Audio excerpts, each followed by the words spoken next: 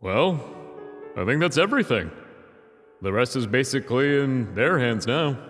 it was a long, long road, wasn't it? I gotta admit, though, it was nice coming back to help finish the job. Thank you for saving me. I couldn't do this anymore if I tried. Yeah, you boys did well. So, with that said, there's something I'd like to offer the both of you. How about you guys go down there and keep an eye on them? You mean live with everything we made? Are you sure?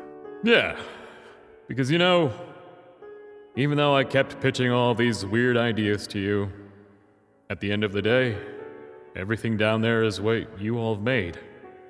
You're the true artists, so why not go live with all of your masterpieces? That's really sweet. Don't do this to me right now. I just finally got everything together and you're gonna you're gonna throw that in my face? You Thank you. But I know you guys are gonna be away for, well, probably until the end of everything. I want you both to help me make one more thing for me. So, you know how people remember things. Yeah? Make the brain store this thought forever, depending on how important they are. Call them memories. Sir, you don't have to. I'll never forget both of you. You will both be in my memories for the end of my days. Give me a hug, you sub you love.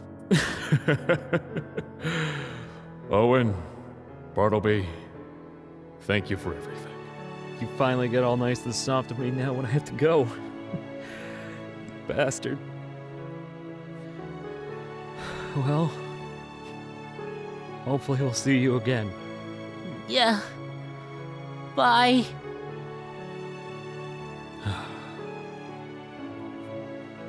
That was the finest creation those boys could have made. Because no matter what path we choose, no matter what faith we choose to follow, or to not have any faith at all, the memories we make along the way in this life are the most important gift we will ever be bestowed.